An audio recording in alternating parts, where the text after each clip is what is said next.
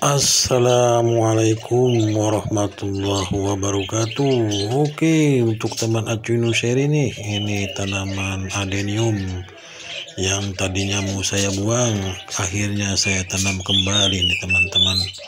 Karena ini perkembangannya waktu itu sangat jelek sekali nanti eh, kita akan rubah penampilannya. Kita kepang sedikit nih untuk dijadikan sebagai tanaman bahan bonsai adenium. Nah seperti ini kita kita kepang kita jadiin satu untuk perakarannya. Uh, kita rubah penampilannya nih teman-teman. Ini tadinya memang udah mau saya buang rencananya. Ah tapi sayang nih ketika saya lihat kembali ternyata masih segar. Ini udah satu bulan nih di, dibiarin aja dikeluarin dari potnya karena waktu itu perkembangannya kurang bagus ini udah hampir satu bulan nih teman-teman tuh tapi masih segar mudah-mudahan sih ketika ditanam kembali dia akan menjadi tanaman adenium yang bagus nih teman-teman. Tapi setelah dipermak atau setelah diganti posisi uh, uh, untuk penampilannya kayaknya cukup menjanjikan juga nih teman-teman untuk tanaman bonsai adenium ini.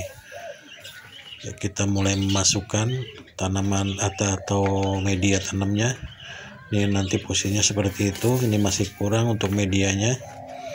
Kalau untuk tanaman adenium sih sangat kuat sekali tanaman. Walaupun dua bulan tiga bulan juga dia akan masih bisa di untuk ditanam.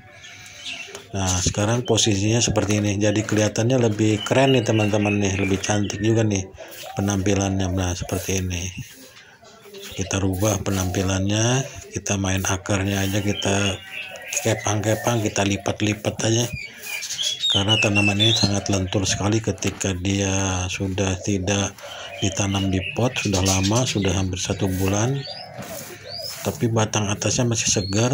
Mudah-mudahan ini ntar uh, bisa tumbuh bagus nih teman-teman.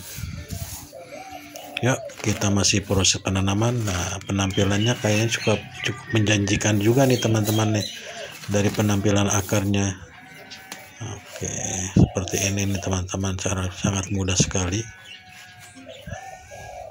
Nanti akan saya pangkas juga nih bagian-bagian atasnya yang sudah panjang-panjangnya itu. Masih masih proses penanaman penambahan media nih teman-teman.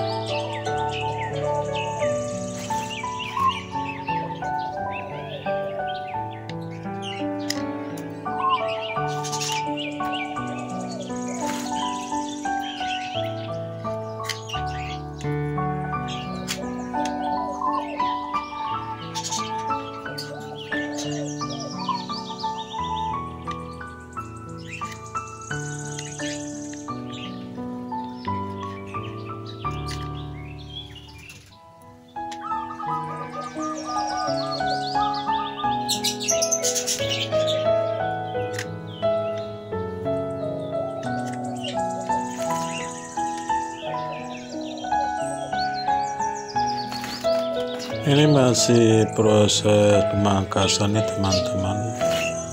Gunanya adalah untuk mempercepat pertumbuhan tunas-tunas baru nih teman-teman.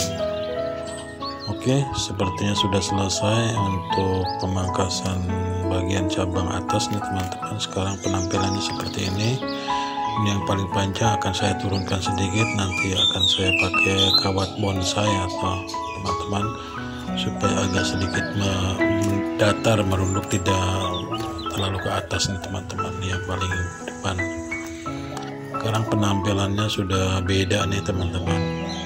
Ya untuk video kali ini sampai di sini dulu teman-teman. Sampai ketemu ketemu lagi di Acunu seri selanjutnya.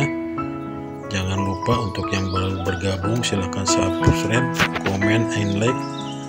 Assalamualaikum warahmatullahi wabarakatuh